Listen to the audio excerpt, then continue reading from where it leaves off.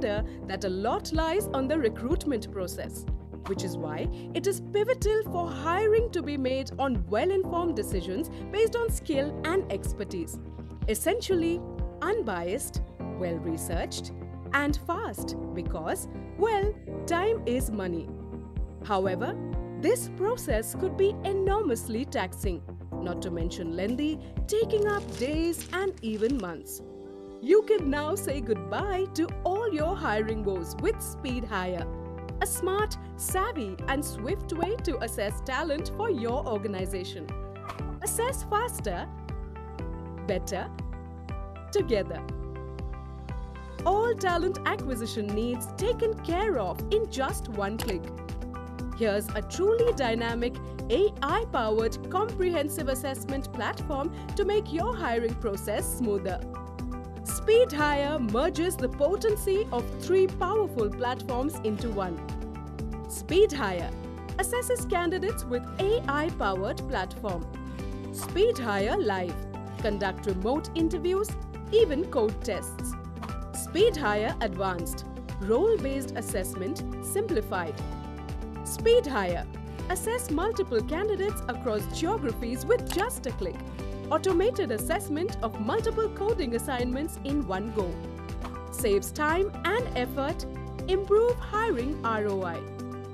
Unbiased hiring. Build winning technology teams with unbiased insights, not instincts.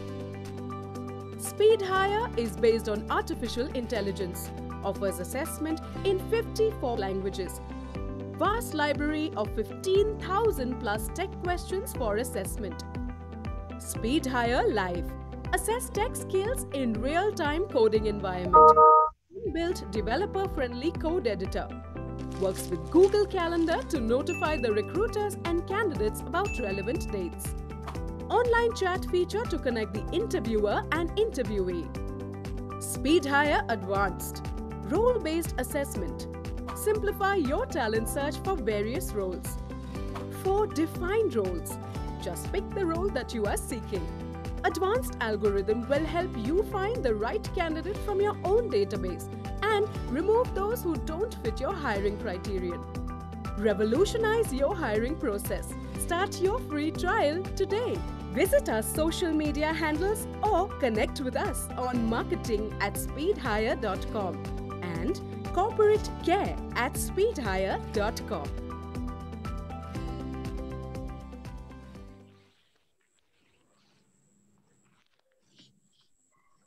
Great. So technical hiring is all about building great teams to develop great products and services. In the new normal, remote talent assessment has become a major way to scout skilled talent, especially for the tech roles where the tech quotient defines the success or doom of a prospect. Each role has its own unique set of required skills and different levels of seniority where entirely different sets of requirements are there. Those distinctions paired with constantly changing technologies makes it challenging to nail down a repeatable, sustainable hiring process. But how do organizations ensure to recruit the right talent? How do HR and tech leaders work on strategies and processes for a fair technical assessment? All this and much more will be over the table while our esteemed panelists from the tech fraternity talk about and share their valuable insights today. Ladies and gentlemen, please join me in welcoming Mohan S. Principal Consultant, ACTS, ATCS Inclusive. Mohan Gote is the client partner, engagement lead at ATCS with over 17 plus years of IT experience. He is known to handle key mark accounts uh, for ATCS. He supports clients in managed services, application architecture, cloud modernization, big data analytics, business development, KPI, and reporting. During the quarantine, Mohan mastered his cooking skills growing indoor plants, and playing tennis picked up the fourth grade math and ELA skills. The second panelist, Saqib Khan, Executive Director, Delivery Collabera Inclusive. Saqib has 14 years of experience working with Collabera, a global total talent solutions focusing on cloud, data, AI, engineering, and delivering these services through staff augmentation, IT services, custom training solutions, and many more. In his role as ex executive director, he is responsible for building a strong recruiting and delivery team that can help deliver these services and also designing and implementing multiple strategic initiatives. Our third panelist, Vipul Valamjee, Senior Engineering Talent Leader, Altimetrik.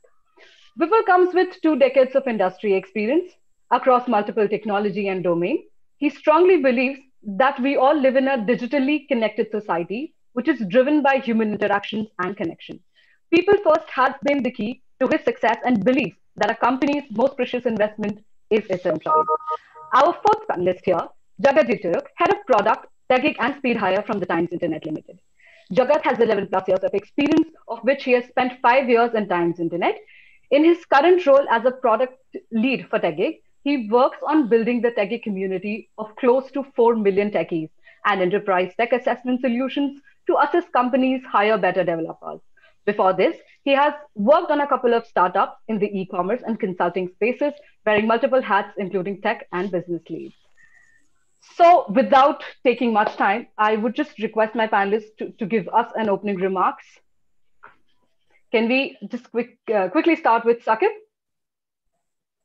Hi, everyone. Thank you. Thank you, Sukriti, for a brief introduction. Uh, uh, excited to be part of this event today. Uh, I, am based out of Charlotte, North Carolina. Uh, I've been part of this uh, uh, IT services industry for past 14 years, and you know my job, basic core job, is obviously managing a team that is day in and day out identifying the right talent for our customers. So I'm at the heart of everything that we are trying to discuss. you know, and especially with the advent of technology and uh, post COVID, uh, remote and virtual working has become a norm. It's, it's increasingly challenging to really identify the right talent. And in fact, uh, technology was already making a lot of advancements uh, in past three, four years. Uh, and I think it has only accelerated in the last nine months uh, to make sure that, um, you know, hiring decisions are possible even virtually. Right. Thanks, Akib. Mohan, can we move to you and have your opening remarks, please? Sure. Uh, hey, thanks, thanks, Sukriti for the introduction. Uh, Mohan Gote. I'm based out of Atlanta, Georgia, uh, and I, as as Sukriti mentioned, I have over 17 years of uh, experience in uh, managing clients. Uh, so I'm mainly on the delivery side, but I'm, I'm also responsible for hiring the right talent, especially the technical talent here in the U.S.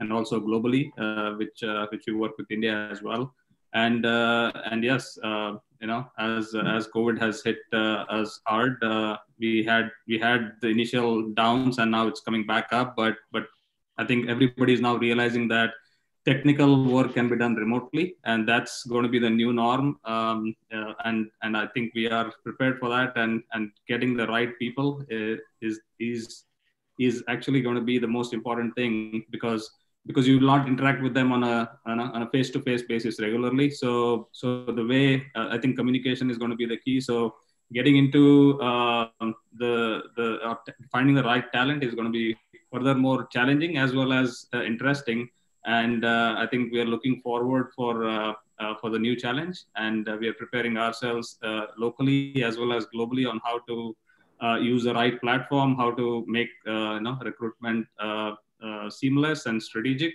Um, and I'm looking forward for the discussion. Thank you. Thank you so much. Vipul, we'll move to you. Yeah, thank you, Sukriti. And uh, uh, uh I'd like to first uh, uh, thank Saqib, Mohan, and Jagdeep to be part of this conversation because I'm really looking forward this for this next one hour where we're going to talk about a lot of topics and discussions around talent hiring and in this new age of digitalization. Um, couple of things that, which are very close to my heart and I, uh, it's part of any organization is people right? Meaning uh, we have to invest and we have to invest in the right kind of people. Um, and how do you invest? How do you bring in these uh, talent into your organization is a very um, on the outlook looks simple. You go take a couple of interviews you understand the engineer you understand the talent hire but it's not that simple right? Every step has its own intricacies. Every uh, stage has its own uh, detailing and conscious effort from an organization that has to be done. Um, we at Altimetrik, I'm part of Altimetrik for last uh, uh, three years and over two decades of experience across multiple uh, product and uh, uh, service related organizations.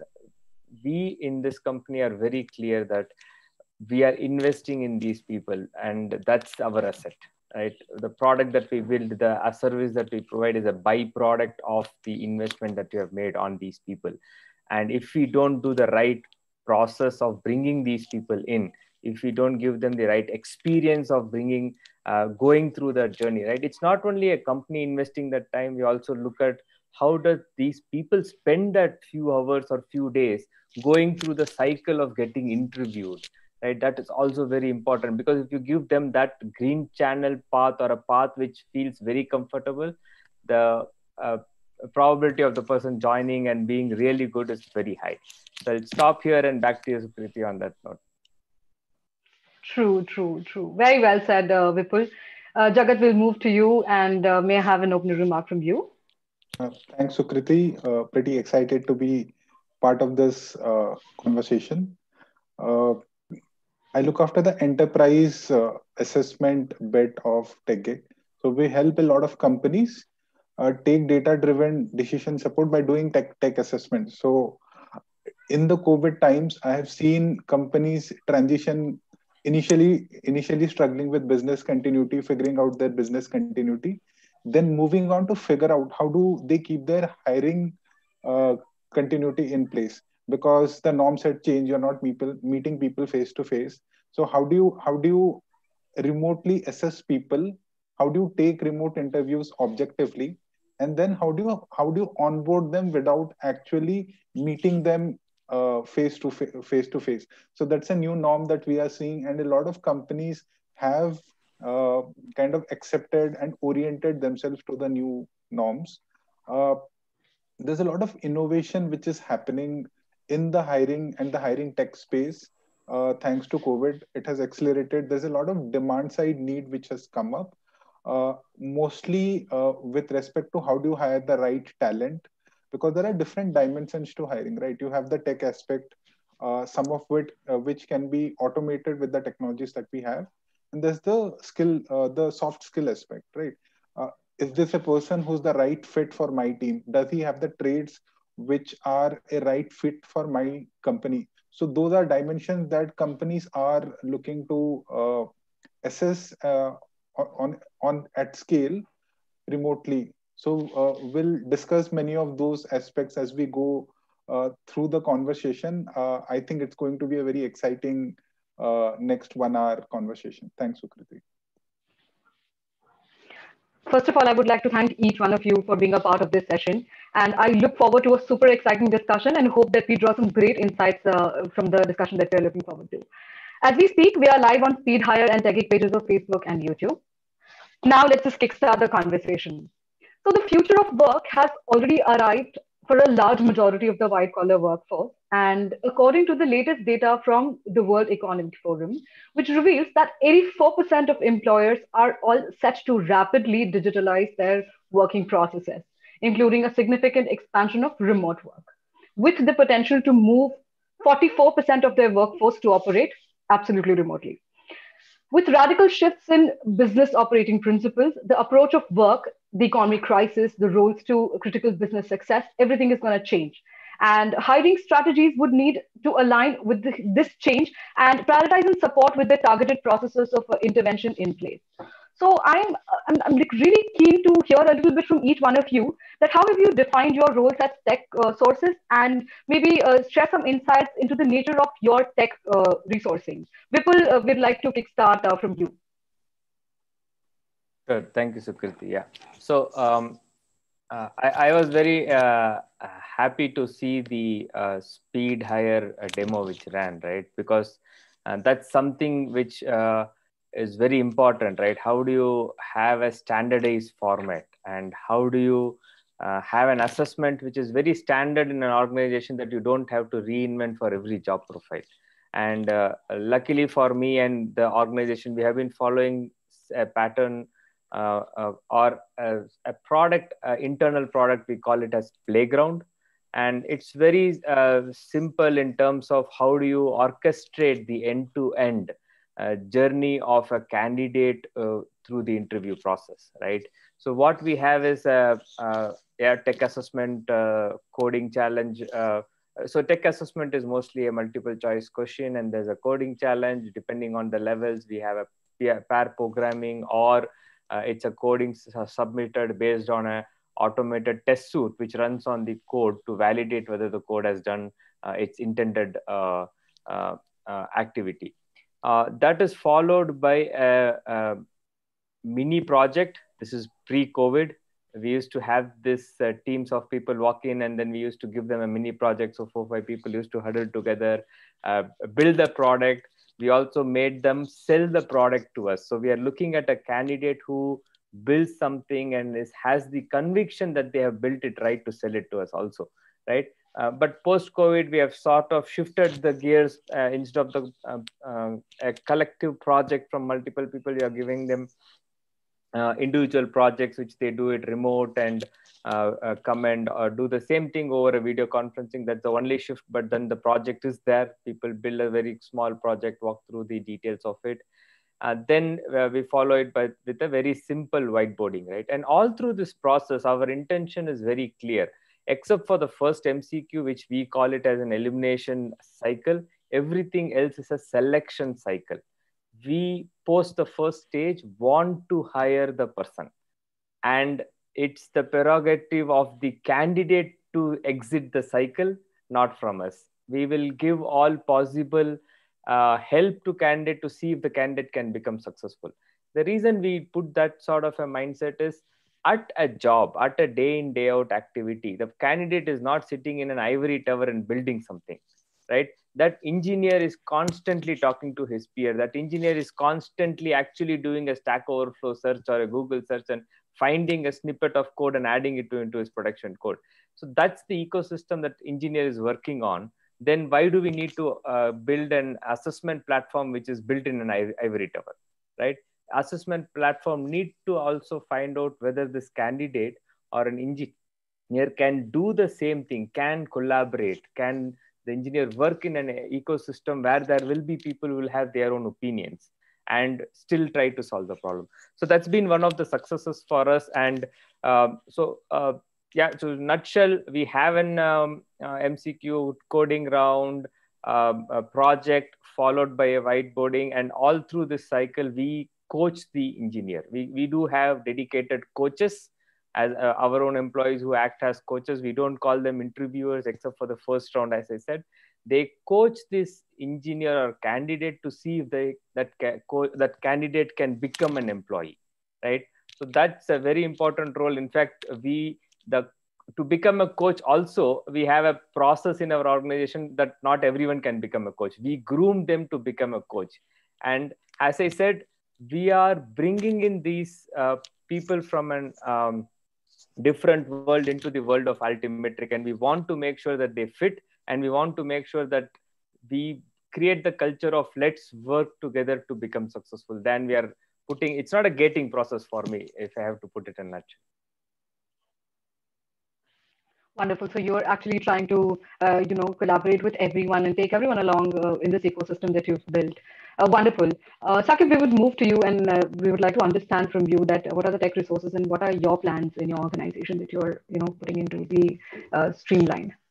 Sure. Uh, and most of the hiring that we do as a company is for actually our end clients uh, because those are the clients that are having those projects. And I would say that obviously post COVID, as I said in my opening remark, it has only accelerated. But even previously, because most of the hiring is now happening in a digital space. Every client is going through that digital transformation journey.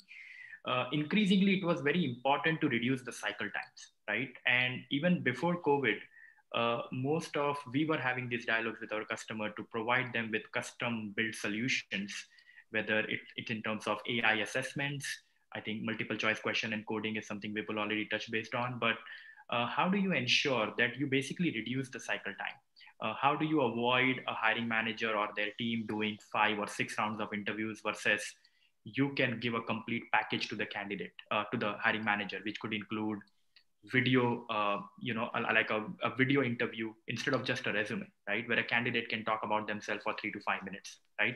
Uh, that can easily eliminate uh, even judging a communication skill of a candidate right? Where a candidate is able to express what their strengths are and what are the key areas and, and they can briefly describe what projects they have worked on. Then they can move to the technical assessment round where uh, based on the client requirement there can be customized uh, training assessments that can be built. And there are different tools that we are using uh, there are certain internal ai integrated tools that we have built ourselves as well as there are certain tools from outside which are easily available like HireVue which can easily look at an algorithm of the words and the choice of the words the candidate is using whether they will fit in a particular company's culture or environment or not. And that software is much better versus removing that manual inter- intervention from a recruiter where you can be subjective in your evaluation. Whereas this ai based algorithm tool can really give you the right guidance that whether this candidate with the choice of words they have used the, the, the camera that they have used and how many times they are kind of their body language and everything it depicts to show whether this candidate will fit in their environment or not apart from this i think uh, you know it is very it has become more and more important with remote uh, working is that we seek to understand what the hiring manager is looking for. Uh, because i can tell you a lot of times the job descriptions that the hiring managers write they, they would easily go to a glassdoor or on the google and type up a job description to be honest with you. That is the typical tendency that any hiring manager has. Nobody takes that time to really craft a proper job description in fact there are software tools now which you can use to craft a proper job description that can eliminate certain words which could lead to bias, right? Like very competitive and determined. Sometimes you tend to be biased towards a certain gender, right? Or being collaborative and cooperative. You know, you can be tend to be biased towards certain gender. So there are software programming tools that hiring managers can use now to really craft their job description to make it more neutral and appealing to the right audience that it is catering to. And that way it removes a lot of bias in your hiring process as well. Okay, uh, uh, just a quick follow up onto what you uh, just mentioned that uh, you just talked about the qualitative analysis of a candidate, right? Uh, whether uh, you know through video calls you'll be able to just uh, evaluate that person is uh, you know going to fit into the ambience of uh, the organization or not, and uh, things like that.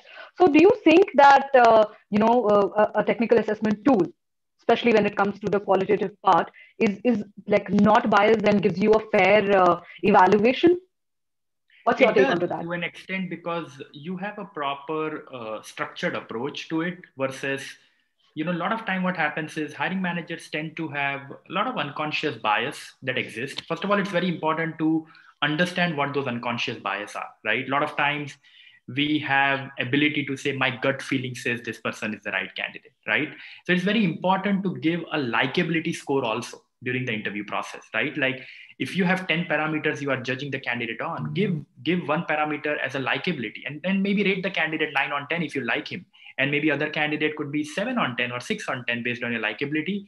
And then if you do the comprehensive evaluation of judging them on all those parameters, you can still arrive at the right fit. And some of these software tools and technologies can eliminate those human biases that could be existing. So it's not just qualitative, even from a quantitative perspective, there are coding assessments. If you if you also wish to hire somebody at a at a at a senior level or a executive management level, then you have ability to evaluate their work samples, or you can give them a scenario of your work environment and ask them to provide a solution to it, right? Or come and present that how are they going to come and do this uh, uh, in their environment, right? So there are a lot of things that you can use to really make sure that you know you can you can negate the hum, uh, the in person need to really evaluate a certain candidate. All right. So uh, basically it's it's all about maintaining the balance between the qualitative analysis and the quantitative analysis that we have through assessment tools right?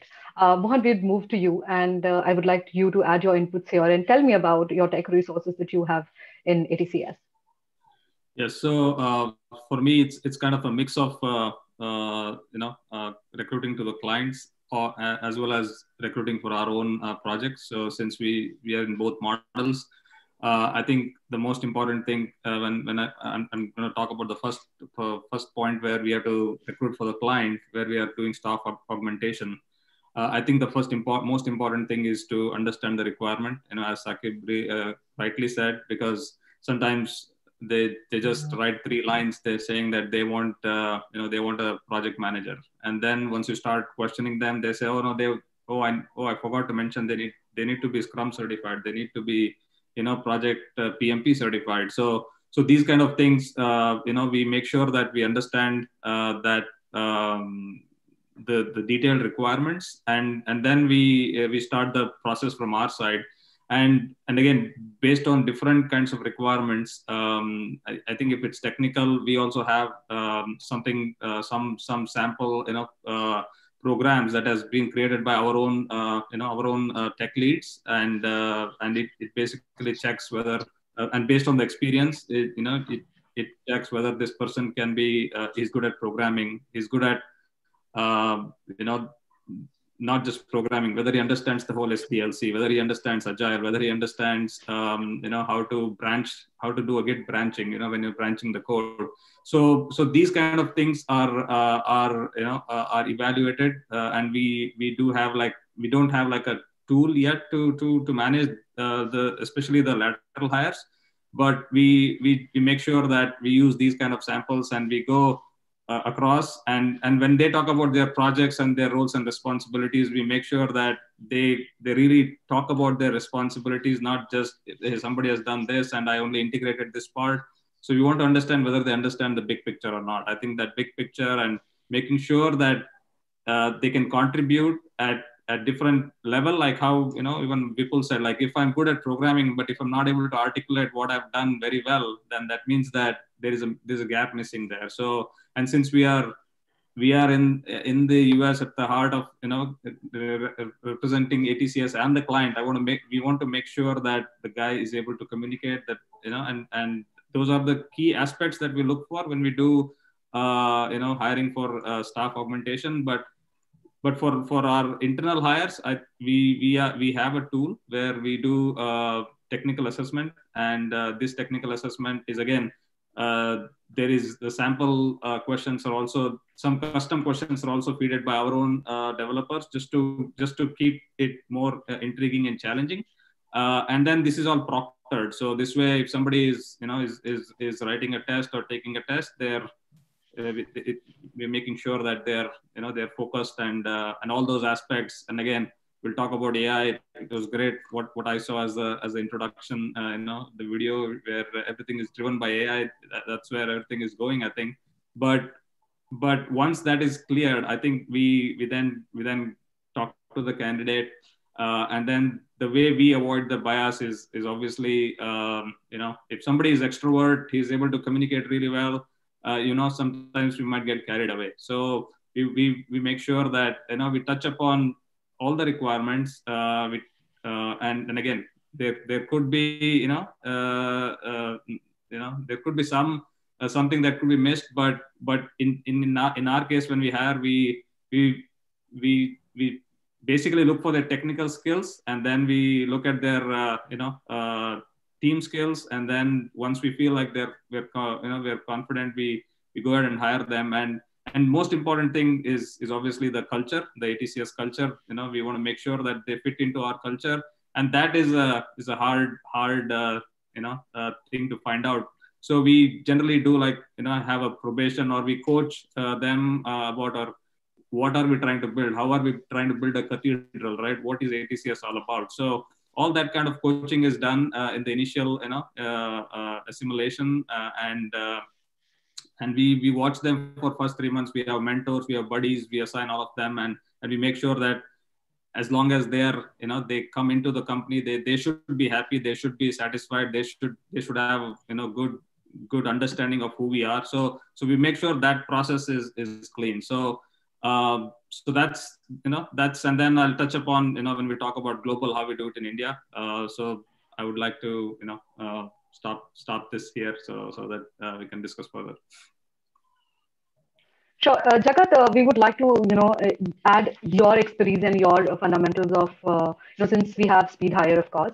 Uh, I am sure that you will have a different uh, prospects to share with us here in terms of how important it is you know to actually quantify and evaluate the skills of a candidate.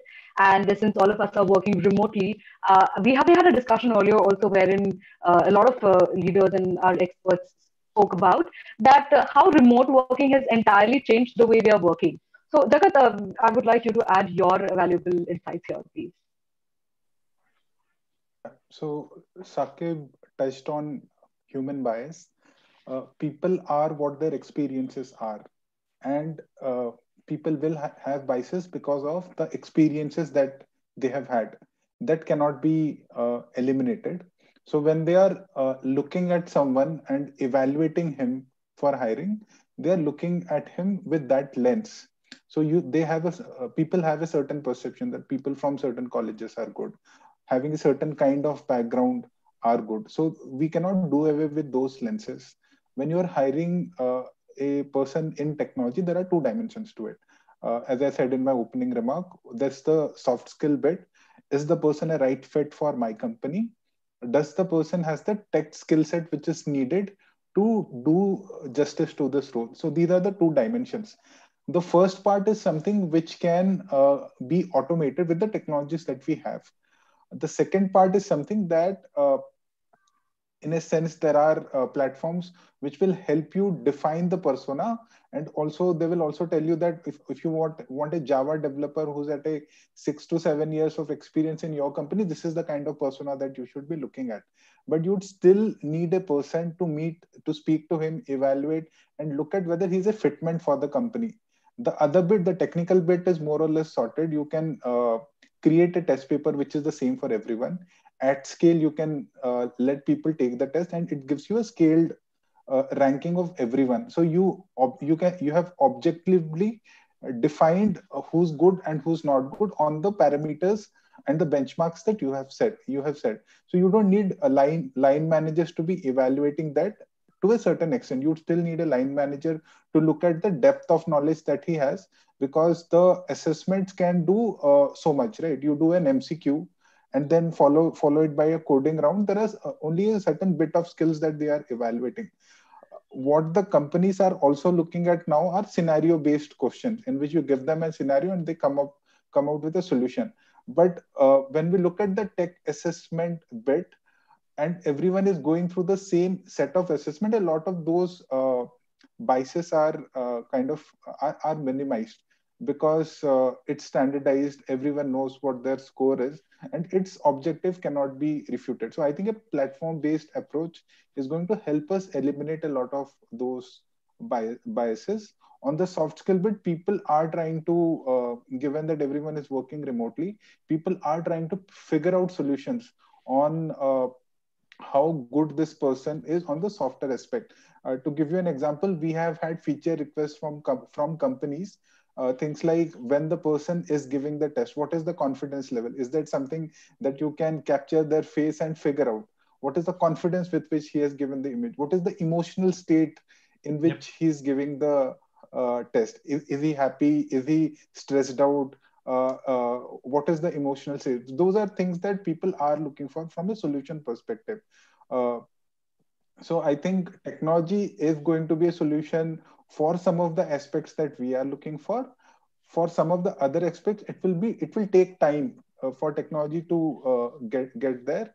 And these will be uh, tools which would help someone uh, take the decision. Uh, these will help help help a human take a decision. They are not going to decide uh, decide for you for some time Right. So uh, I will just move to my next question, Jagat, which uh, is actually, uh, you know, very interestingly brings down to uh, the hiring portion, of course. So, uh, you know, the COVID scenario, uh, which was, you know, in India, especially, it's a global situation right now. And in India, the whole impact started off from February and or March, I should say. So, you know, during the time, a lot of job losses, of course, a lot of recession had, but there is still, there is a buzz right now of a lot of hiring in the IT market. So uh, while the HR managers have been saying that the productivity has increased tremendously, uh, what are the core competencies that uh, you know you as leaders look for while recruiting a programmer or software engineer remotely? I should uh, say. So uh, we would like to start with Mohan here.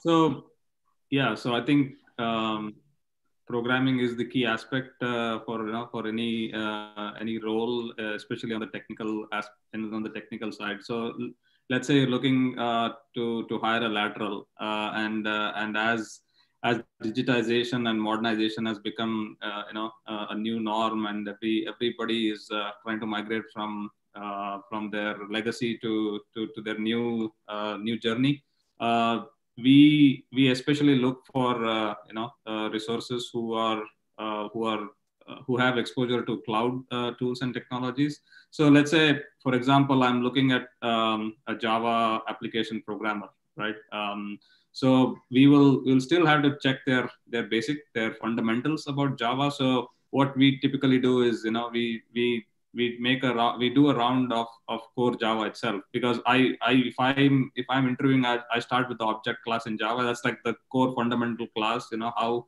how do you how you use that? How you use multi-threading? How do you use the reflection? So so core core fundamentals is still the key. Uh, but and if the fundamentals are strong, I think I think you get a good feel that okay, this this is you know we are going the right direction. I think fundamentals uh, testing is really important for me, uh, and then go to the next layer where you know where there is Spring and these new frameworks that are helpful for cloud migration.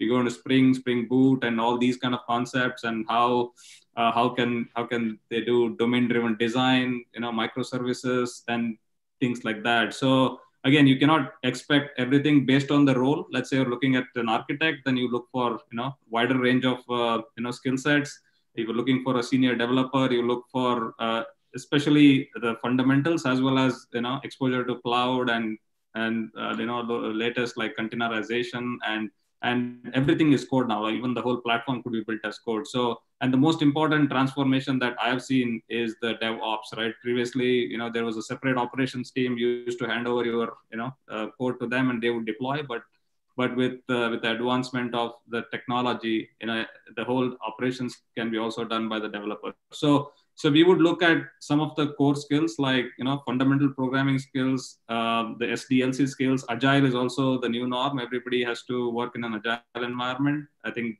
process is is key, uh, as well as the DevOps part of it. So so combining that, we would do like you know first as a fundamental round and then do like a uh, you know more detailed round give them scenarios give them context based like how did you solve this kind of a performance problem uh, or or or you just you know sometimes you ask out of the out of the you know uh, questions like hey what do you don't like about java? Like everybody will say i like about this I like, but what do you don't like about java? So things like that will make them think uh, and then we go into you know the the final rounds and and we make sure that technically the the candidate is is capable and then can also contribute in in a team environment and can take us to the future because because some the some candidates are like are not very adaptive to new technologies. Like if somebody has worked on the mainframe, then they would want to work on the mainframe, and and for them it's like a big change. So we also look at the attitude as you know how quickly they can adapt, uh, what is their learning, uh, uh, uh, and and how how they spend time outside of the work, right? Like if, if somebody is is is really techy or is really interested, he would he would be knowing the new trends. You know what is happening in in let's say mobile apps development, what's happening you know in the modern uh, javascript development so these kind of things are, are also interesting for me especially when i talk to them uh, I, I try to find out you know how, how connected they are to what's going on in the current uh, you know current um, uh, setup Right. So, uh, Saqib, we would we would just move to you for this question. That uh, you know, since you're also an uh, subject matter expert, so we would we would like uh, like to know from you as well that what is your approach uh, towards this? So i think uh, mohan did touch base on a lot of technical piece of it which which is pretty much common these days for assessing anything. I think post covid especially in a virtual environment some of the traits we are seeing that are really going to drive is you know their personality trait their interpersonal skills. Because it's a very different uh, approach to working in a office environment where you are collaborating with uh, your business analyst or your architecture or you know different teams. And it's a very different approach you need to take when you're working virtually. So some of the things and you know softer skills takes is taking a lot of precedence uh, you know what type of ownership of work that person can take right? Uh, and you know technical skills i'm not saying it's it's easy but technical skills can be taught. But some of these personality traits are built over a period of your lifetime right? Like right from your schooling your college you know like these are certain characteristics that a person displays right? You cannot build this over you know like okay overnight somebody will automatically start taking ownership. If that person was careless and in his approach and everything all of a sudden tomorrow he will not going to start taking that extra level of ownership. So we are seeing more and more increasingly that some of these qualities is going to truly be the differentiator between a top talent versus an ordinary talent right? Somebody could be a really good solid technical guy but if they are not able to collaborate you know work in an environment in this virtual world then they will be a misfit uh, in a lot of companies i can tell you. Similarly also we are seeing that you know increasingly what these tech tools have done is right uh, earlier you have to coordinate various interviews with multiple level of hiring managers check their availability. Because of these video tools and ai tools right uh, it has enabled a candidate to take an interview at any time of the day right? They could be working from 8 to 5.30 and then they can be free in the evening take those tech assessments take those video interviews. You can email it to the hiring manager whenever you want it. They can review it whenever they like. So it has given a lot of flexibility to hiring managers to really identify that top talent and among the pool of the talent and also the speed and agility that it is providing uh, to make sure that you know earlier it was all about there is a war for the top talent right? Now it's not just about the war it's a race for the top talent right? So the speed and agility is going to be the key and and all these tools are giving those hiring managers the tools to really identify the right talent uh, because in all said and done, the IT unemployment rate in US is still very, very low, right? Uh, irrespective of whatever unemployment rates have gone up in past nine months or so, the IT unemployment rate is still very low. So there is still a demand and supply gap, right? And it is increasingly important. Uh, how do you, you know, kind of, uh, you know, re- complete that demand and supply gap, right? There are various uh, things that companies are trying these days, like an early talent program, because you are not seeing those talent easily available. There are different immigration uh, issues that everybody is facing, right? So how do you train that top talent? And uh, you know, even even Mohan touched base something on that digital mindset and everything. There are various assessments out there to really assess, you know, you know where that candidate is in his digital mindset journey. Because it's very important uh, you know it's not necessary that somebody who is an engineer is only aligned with the digital mindset. There are people who are not probably engineers but they are creative. They know how to really build stuff and they can also fit very well in your digital uh, environment. So it's very important for us to really look at the software aspects along with everything that we will do to train them or technical assess them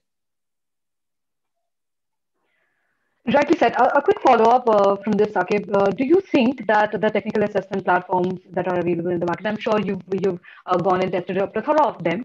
So, do you think that uh, you know they ensure a quality of assessment which is like not compromising, and uh, it it definitely gives you the accuracy of skills that you are looking at for your clients out there? I feel that you know technology is continuously evolving, and it is something that is is going to improve as we get better in articulating our need. And if we are able to translate that properly into assessment of a candidate then we can definitely bridge that gap right? There are multiple tools out there and each tool has its own pros and cons right? But i think it depends whether you are doing mass hiring for one type of skill set or you are doing selective hiring because the only challenge is you'll have to customize it every time for the need that you have. That is the biggest challenge you faced with these technical assessment tools. But to an extent again it can be a leading indicator it is not the only indicator for your hiring process right? So you cannot just blindly rely on that tool and think that this is going to be answer and solving all your problems. Uh, it is very important that uh, you know there is a structured interview process that a hiring manager is still having uh, because a lot of times we have seen that you know there is a lot of unstructured interviews that take place right? So it's very important that that hiring manager is asking the same set of questions to different candidates because that way you can easily remove that bias hiring bias that uh, you know jagat talked about as well right? Uh, an example i can say you know as, as jagat mentioned that it's it's all about what you have seen and the you know you have experience like for example i'll give you if you have never seen a male kindergarten teacher right you will you will tend to always associate and hire a female teacher right? But uh, th- those are some of the unconscious bias that exist even in hiring managers mind right?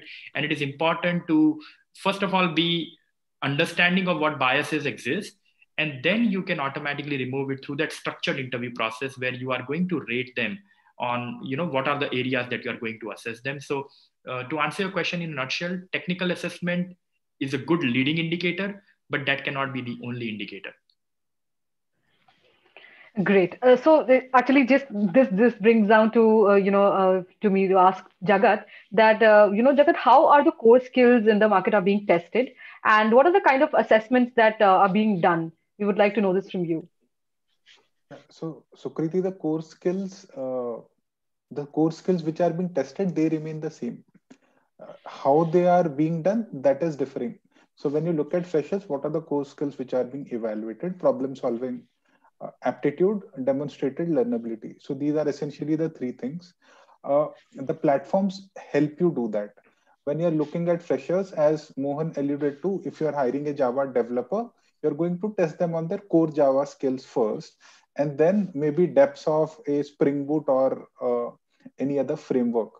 Uh, initial, pre-COVID, the framework bit was being done on a one-to-one interview because most of the platforms did not support it.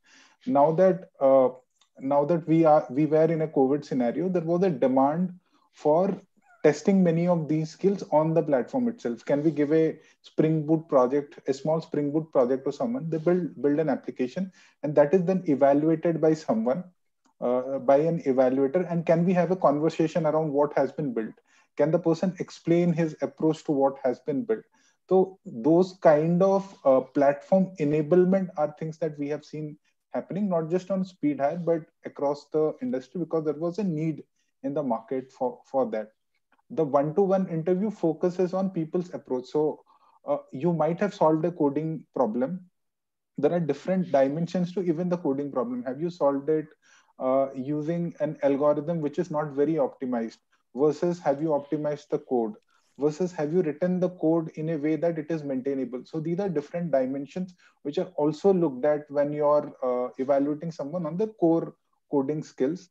But the way the platform has uh, the the platform need has evolved is uh, the coding bit and the uh, domain testing bit was already there with the mcqs and coding. But the scenario based uh, assessments are something which we have seen getting enabled on the platform because there was a, a demand in the market for that. And that is then followed up by a one to one interview through a platform in which people have to explain their approach for how they solved a particular coding problem or how did they build that app. So many of these frameworks are being enabled on the platform. Uh, uh, people are uh, using the platforms to do many of these assessments. And then there are having conversations on how people have approached a certain problem. It's not just about doing the core uh, skill evaluation on the platform and then doing everything else offline. So a lot of uh, what was happening offline has been pushed to the platform. People are comfortable uh, using those and then doing the discussions in the interviews and taking it forward. Right. So now I will move to uh, Vipul. Vipul, I have a question for you. That is, you know, when it comes to evaluating the accuracy of uh, candidates' performance, uh, do you just look at the test scores, or you have other qualitative parameters, uh, you know, of technical assessments such as memory consumption, code length, time taken, etc.? Okay. Uh, again, I'll split it into two parts, right? One is the technical aspect of it. Yes, as part of the uh, execution of uh, the use case. As I, as, as I said, we have the MCQ, we have the coding round, but and the use case or the uh, project that they are doing has to take care of the memory consumption, has to take care of number. If, if I have to run it in a low CPU, low uh, latency server, would it uh, do the same performance uh, responses as required? So we do have those checks as part of our use case execution cycles, right? that is for sure an aspect uh, the other aspect of the code which we look at is also the best practices. So so in our platform we already have those best practices uh, code uh, code reviews right? So we have sort of automated that in our platform which a lot of goes through the codes and sees whether they have used the right naming conventions have they uh, did the did the right intentions have they uh, kept a variable which they never used or have they overused few variables so there are some best practices checks also, which are part of our uh, uh, uh playground process, right? So that's uh, the uh, best practices aspect is very important. Then the non-functional requirement, that's what I think you are alluding to, is very important when you're doing the check. I also want to uh, touch on what uh, Jagat was saying, right? MCQ and coding is not enough. You need to have a use case uh, uh, challenge. You need to run them through a project mindset. And that's when uh, uh, what even Mohan was pointing out, you will know whether this person can work in a real life world, right? Gone are the days where you expect uh, them to uh, write uh, four lines of code and say yes those four lines are good we need to see if, how they are able to take it to the production and very important aspect of all of this in covid is um, the learnability aspect of it. In fact i won't say learnability it's the self learnability aspect of the individual becomes very important. I'll tell you a simple uh, uh, example and the reason behind it. In a pre-COVID era when we were used to being in an office where there used to be people around, and if someone is stuck in something, yes, they would Google Stack Overflow, but the easier approach for them was to tap on the shoulder of his uh, friend sitting and say, "Hey, this is not working. Uh, uh, what should I do?" And the person would quickly give him his, him or her a solution.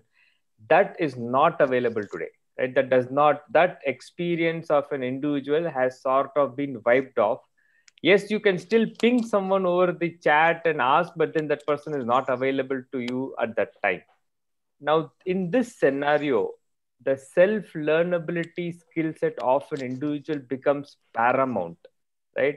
How do i learn on my own? How do i tap into the resources of uh, uh, the internet or the resources of the company and their confluence pages or, or experts in the industry? How do i tap into those uh, areas and self learn and then maybe i will have someone who can reconfirm my understanding right? We are shifting from learning from my colleague to reconfirming from my colleague in this covid situation so uh, i did answer your question on the first part uh, uh, Sukriti, but i wanted to touch on the self learning part as part of the covid uh, angle and that is one key aspect or a uh, assessment we do as we try to hire anyone in, in this era now. And Sukriti, piggybacking so, on uh, there are tools out there. There are tools out there that can really yes. evaluate their behavior, personality traits, like the self-learning ability that he talked about. There are cognitive uh, tests mm-hmm. out there which can really help you judge whether this candidate and and you know nobody can fool that test easily, right? If you are not a self-learner, then it will be automatically be visible when you take that test. So that is why some of these technology tools become so relevant and important in this age and world. Uh, because you know you can't just go and ask this candidate to a uh, question to this candidate that hey are you a self learner or you know how will you depict that that person is a self learner or not? Very true. Right, uh, but uh, Saqib, I, I want to know this from you and Vipul both that uh, maybe I am like I believe and I assume that uh, this is very much relevant and uh, would cater to uh, maybe uh, when we are talking about hiring 10 15 or maybe a, a, hiring which is like a smaller unit. But what about when it comes to bulk hiring? You know when, when people opt out for bulk hiring maybe you know into the organization or into the it industry which does that. So how do you think that uh, this is like very much relevant when it comes to hiring a lot of people altogether? Uh, see again, uh, if I understand the question, you're saying in the bulk hiring, how do you still uh, take care of all these things? Uh, is that exactly because right? Yeah. Yes, uh, before we were because what you talked about was on individual levels, right? You know, uh, creating that ecosystem where uh, a person is, you know, comfortable. A person is, you know, giving his best to learn. And since we have, you know, all of you have those mentor paths also, so I would like to understand that what is your approach for when you when you hire so many people at the same time? So actually we don't do any different anything different right? Uh, some of the use okay. cases of uh, our india hiring uh, we have hired in a in a given day almost 30 offers just by following this approach right? It, again oh, it's about okay. how do you multi uh, process things? How do you parallelize these processes right? How do you bring in people? How do you have 50 laptops ready again in us we don't do this level of bulk hiring where we have to hire 30 people in a day. It's uh, three or four in a day is really a good uh, pick for an us market for us. But in indian market where you're hiring like you are, you're looking at hundreds of people to be hired in a month and also we have done this exact same process mcq coding coaches being there coaches being assigned four five engineers. They sort of uh, if, if you know the chess game where there's a, a master uh, chess person and he like plays 10 people chess. Similarly a coach is there who is coaching 10 people there right? Uh, again the coach is not sitting and telling the person what to do. The coach is telling them or nudging them saying did you think of this? Did you think of this variable might hit your memory management? That inducing and then knowing whether the person is able to self-learn. Um, digital era we are still able to do that. Now it's much more easier because i have 10 screens i have 10 engineers solving my problem as a coach i'm monitoring all 10 of them and i'm also looking at their code at the same time. So uh, the scale is not a challenge if you have the platforms right right? Uh, if you're uh, and again at the end of the funnel is going to be tricky. Uh, the bottleneck hits when you're at the last stage and that is going to be tricky. There is a human intervention required from my point of view. You cannot take away the human aspect of any of these things which Saqib already uh, touched right? Uh, there are uh, products but at the end of it there has to be a human uh, connect which also reinforces what the systems have told. In fact sukriti i can say that you know in fact mass hiring can in fact be you know you can really speeden up the process using these tools if you look at it right? In fact right. a uh, lot of companies are now going they're going blind for a resume review process where they can remove the demographics name so that there is no unconscious bias towards the candidate. And then there are various tools through which you can you know hack a rank and rank those candidates based on you know what what experience they have and their profile and everything. So those tools can help you easily shortlist candidate maybe 100 candidates from a pile of 1000 candidates right? And then uh, some of these tools uh, which are flexible where a candidate can take a video interview or do a coding assessment. In fact this can really help hire you candidates in masses versus for you to really interview 200 candidates and then shortlist another 100 and then they make them go through another round of interview. You will end up wasting so much of your manpower to really do the hiring process versus these technology tools can really speeden up and enable you rightly said Saqib, and I am sure that uh, you know uh, we have been constantly working upon innovating these uh, technologies to you know cater to the requirements that are in the market and uh, what our clients or uh, maybe you know the IT market is actually looking at when they want to hire uh, certain people for certain profiles for that matter. So you know I would like to now know that how do you plan to strategically move ahead with the technical hiring process and what are the kind of innovations that you know all of you are looking at? So Jagat, we would like to uh, start from you. So Sukriti, uh, as I've said earlier, what COVID has done is it has accelerated the innovation process in the HR tech space. And a lot of it is uh, demand driven because there is a certain need in the market. People are looking for certain kind of tools to be addressing those uh, those needs. Now there are different aspects to it. One is how do we how do how do we do assessments at scale? Uh, the second aspect is how do we maintain integrity of this those assessments? So these are the two dimensions in which we are going to see innovation. If we look at the first one, uh, when you're doing assessments, people would want those assessments to make their life easier, right? So when you're doing a coding assessment, you get a certain score that this person has got 80 out of 100 is better than someone who scored 50 out of 100 that is one part to it. The other part as uh, uh, Saqib had alluded to was uh, is the code optimized? Uh, and also vipul also touched on it the, is the code written in a way that it follows good coding practices? So, those are the different dimensions. So there's a quantitative dimension to it. You get a score which helps you decide and stack rank people on the basis of the score. Then there's a qualitative aspect to it that are important because you want certain kind of people to come into your company. And the same thing is happening uh, uh, happening with happening across across things. Like if if if we if i take the case of say spring boot so currently what i'm constrained to do is give people a spring boot project. They'll do the project but you'd still need a person to evaluate that project. Can we automate part part of the evaluation and give a score to it? The quant give some kind of quantitative score to it some kind of functional testing which will tell okay this is an application which is functionally working. A person might still need to evaluate it. So those are the kind of innovations that i see happening uh, because of covid uh, many of it is has already happened uh, So when we look at SpeedHire as a platform, we support things like Spring Boot, React, uh, uh, and many of these these frameworks. So the architecture is ready. Any of these frameworks can be fit in, and then we can uh, give people a some kind of sandbox in which they can come build the application that could that could those then be evaluated the next bit will be how do we give a quantitative score to what the, the, application which has been built. It could be something like an android app. You do a functional testing you come up with a score so that when 1000 people have gone through the test you have a filtered list of 100 people that you want to uh, look at.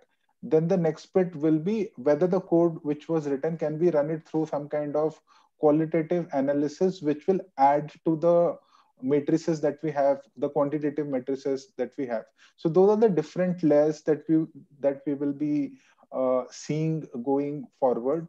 And a lot of it is driven by because people are working from home because uh, pe- uh, people are looking to scale up their hiring processes and they want to uh, focus their time on things which are important. So if i am speaking to 10 people and i'm dedicating my time to evaluating those 10 people then they better be the best 10 people. I don't want to look at 100 people and then cut down to 10 people. That's a waste of a lot of resources. So there's a demand in the market for uh, innovation in that space to make it make life easier uh, for, for everyone and as Saqib alluded uh, to, these are these would remain decision support tools for a really long time. They'll give you data points, they'll give you all kinds of matrices which will help you take the decision. But you'd still need a person to be looking at those data points and taking that taking that decision.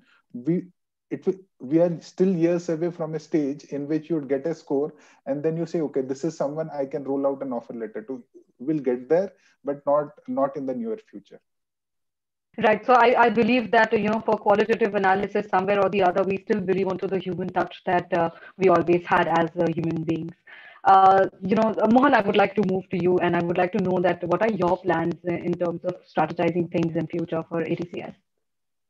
So um, we are looking at uh, some of the tools, um, some of the industry best uh, uh, tools, um, and we are trying to onboard those tools to to to essentially break it down to you know a cognitive test uh, like checking even checking the aptitude checking the number sense you know checking uh, even even language sense right? Because communication is the key in this in this remote uh, covid scenario where you know people are able to communicate quickly respond respond to uh, you know a question in a paragraph. So so that's that's one aspect to it. And the second aspect is obviously the technical aspect and it will still need manual intervention but I think I think that is one space where we are going to uh, look into more of these tools and try to um, um, uh, get get going in that in that uh, area. I think the second most important thing is to to make sure that we have KPIs for the whole hiring process. Uh, you know, previously we used to you know we used to talk to people. They used to come. You know, we interview and take two days. So with this with this COVID and everything virtual, one person can take five interviews in a day, which was not which was not you know happening before.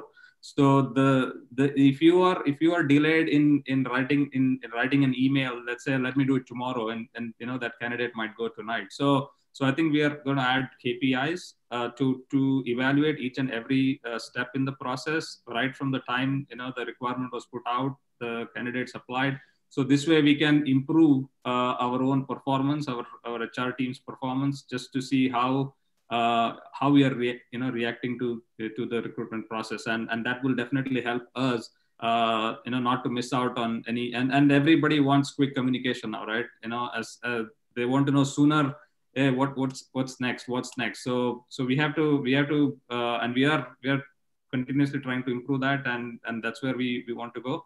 And apart from that process and also improving the the quality you know once once the employee uh, once he once the candidate becomes our employee we are going to make sure that the employee is you know is engaged at all levels. He gets uh, he gets the right training. He is happy with what he's doing. He's learning you know what he wanted to uh, learn and and he has a good work life balance. So so this way we we are going to invest more on the employee and their trainings as well where then that could you know help get us more referrals and you know uh, improve the the quality in general uh, on on the whole process itself.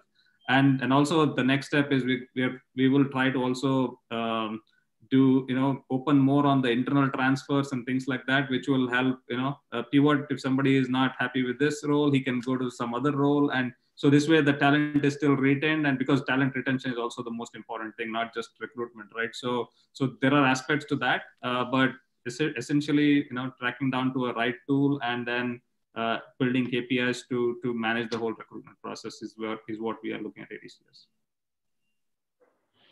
Interesting, Mohan. And I believe that, uh, you know, with technology advancing every single day, uh, I mean, five years down the lane, uh, you never know what all tools we'll be talking about and how innovation would actually address our requirements in the near future.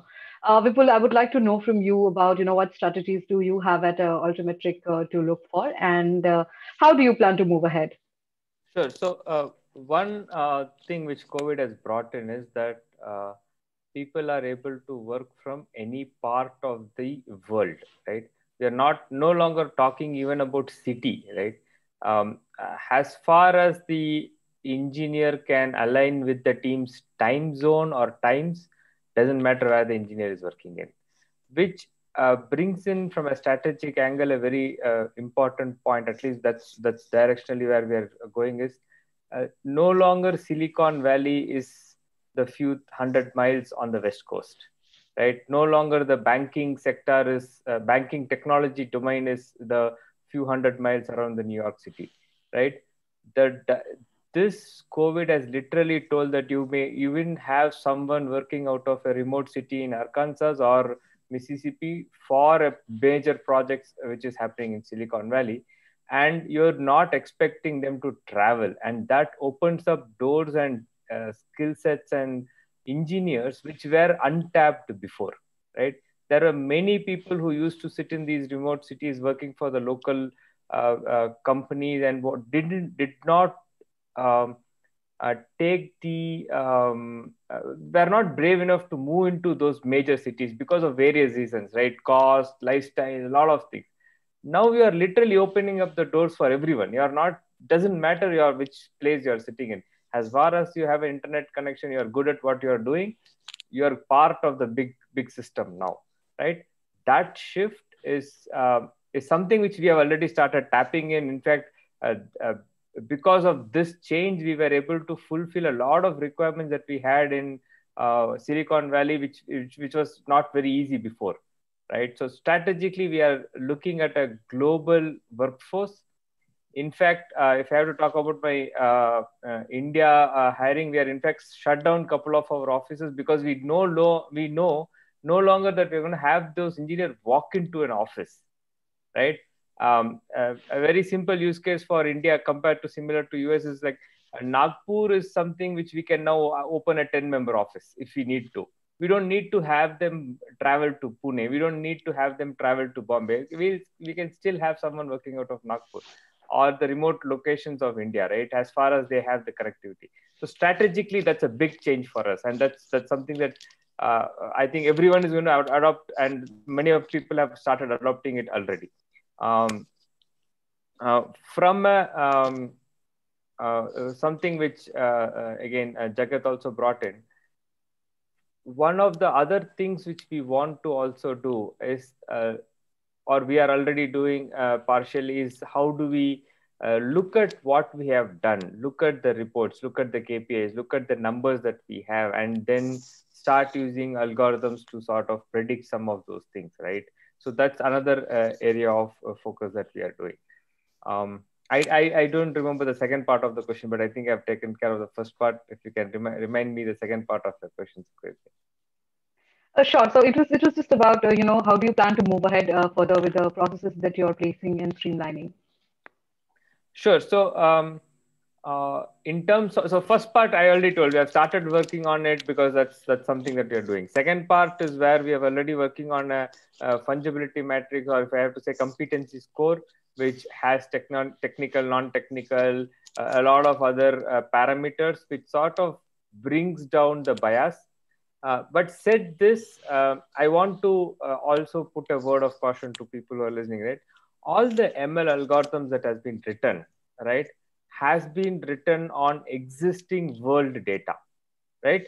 um, if an algorithm is, is it, if a model is running, it's running based on a training data set which it has picked from real world, which unfortunately is already biased, which means your outcome of the ML algorithm tends to be biased also, right? So we need to be very, very careful in picking up those algorithms. And even if post algorithm, like everyone has been telling about this, that is not the end of this. Uh, uh, that's just the beginning. Then there has to be a human intervention to revalidate what has happened, right? Um, and this is very important because we sometimes think ML is going to take away bias, but let's be clear that it is it has learned how to do its processing based on already a biased data. Right, right. A very insightful thing, I should say, uh, Vipul. Thank you so much for sharing that. Saqib, we would just quickly, uh, you know, have uh, some remarks from you, and uh, what are your strategies uh, when it comes to your organization?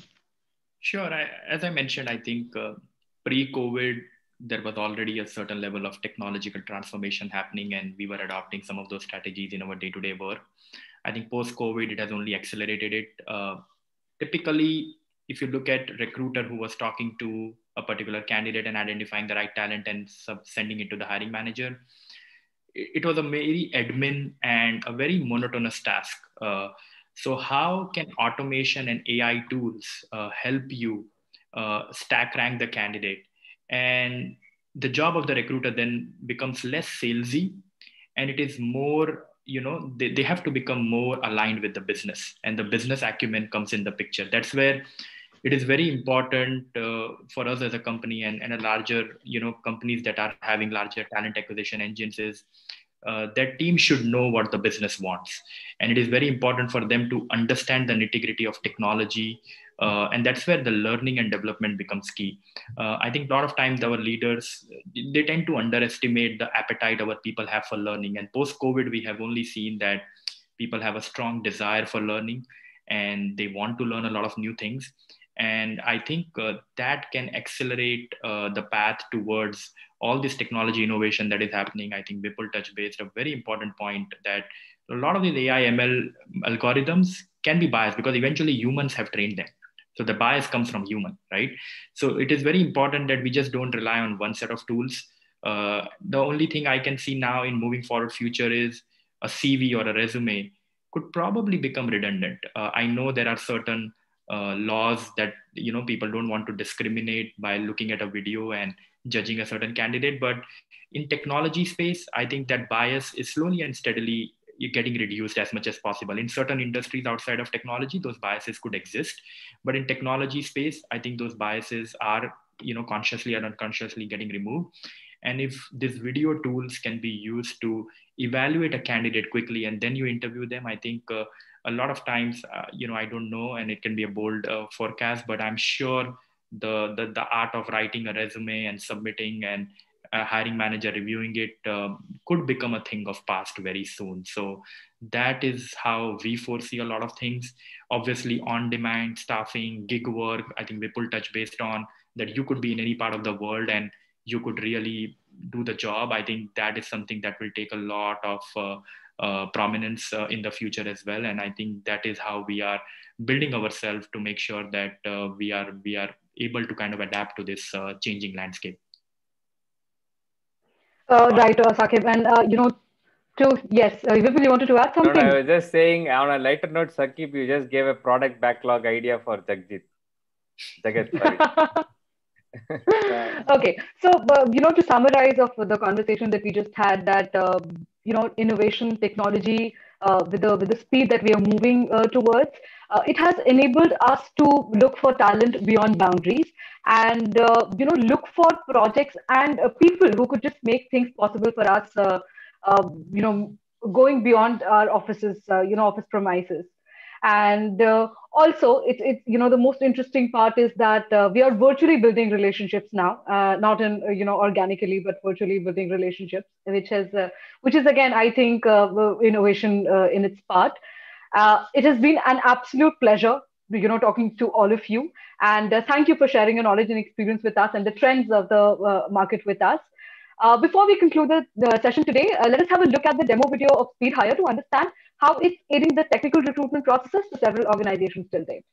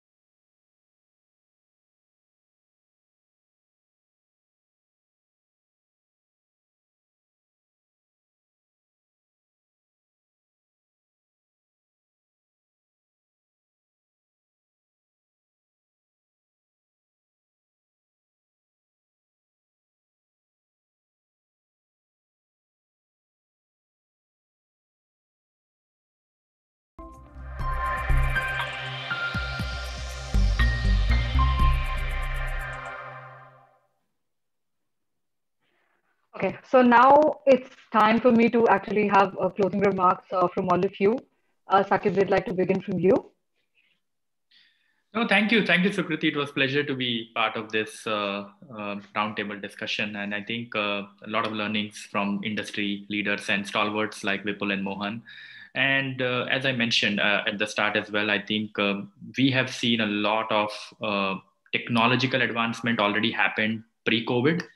Um, so I think the world was already preparing for this because there was so much of digital transformation that was happening and this industry cannot be obviously completely aloof to what is happening. So there was there was a lot of bias towards the way you hire the way you identify the right talent and there was a lot of inefficiency in that process. And what technology has done is it has definitely uh, you know brought some sort of uh, you know level playing field to a lot of candidates and also helped uh, organizations.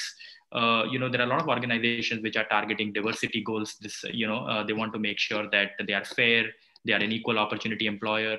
And i think these technology tools have only enabled some of these things. So uh, i can only see that obviously you know now we are completely remote and virtual this will only go to the next level. Uh, the skills uh, that will be in demand obviously will continue to be there uh, and i'm sure it will only progress forward. But i think what is going to play a huge role is uh, that entire process will become very streamlined and will remove a lot of manual inefficiency that existed which probably a lot of times organization could not tap into the right talent because of that. And i only feel that now with these tools and technologies uh, organization will really identify the top talent in a in a very quicker time frame than they were doing previously. Right. Mohan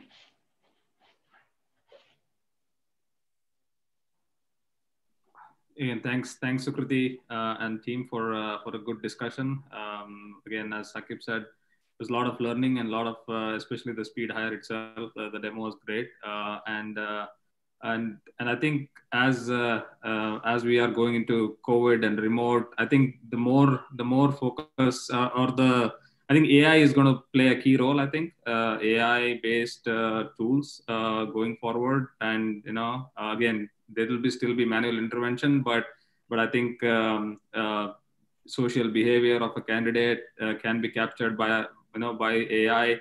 And let's say if you have um, a, a, pool or a, or a data store of all the resumes which are let's say two year old, then you don't know what is the latest uh, technology that, that that candidate is working on. So using ai you could you could look at the resumes and the ai can go to linkedin or any other you know uh, social behavior of a candidate what he's posting based on that.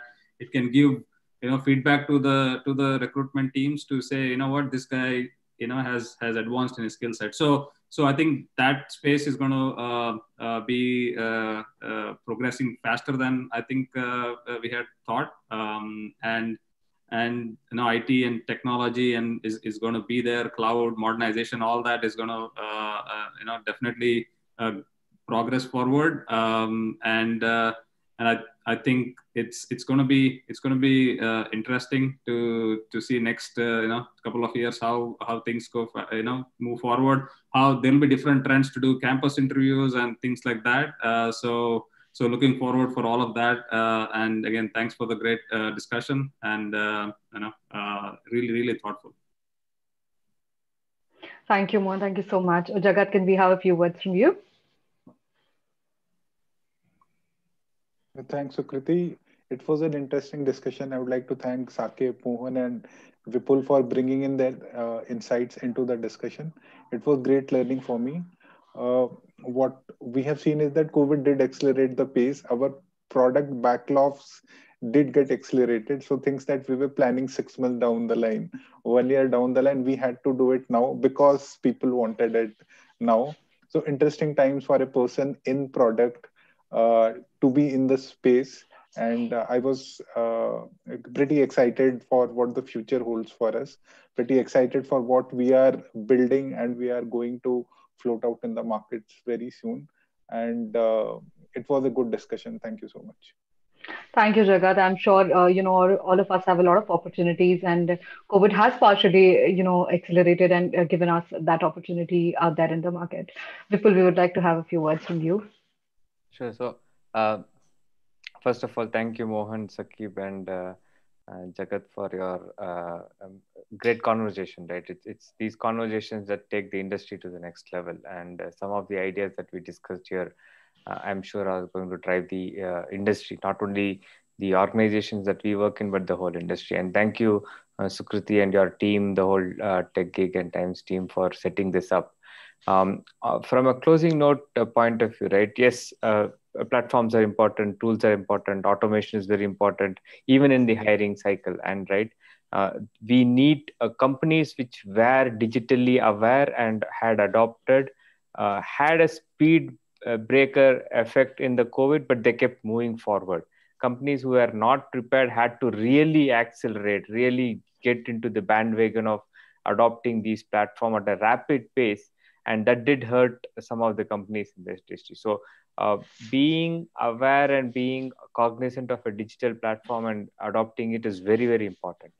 Uh, said that uh, we also need to always uh, as i said people first has been my success uh, story right? And we need to always wear this human hat and see are we commoditizing the whole hiring process by bringing in a lot of automation?